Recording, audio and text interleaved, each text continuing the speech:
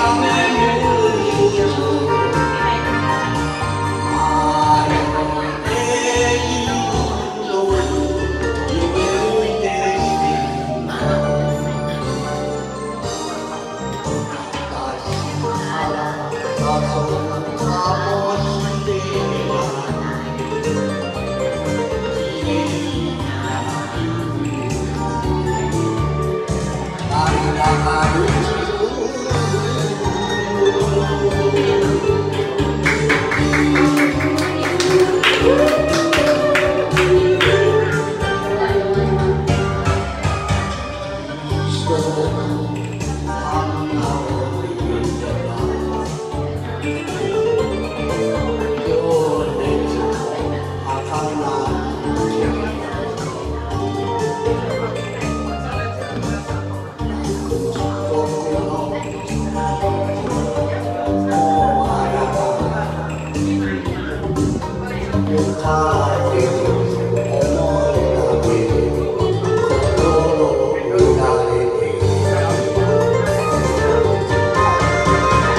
Hãy subscribe cho kênh Ghiền Mì Gõ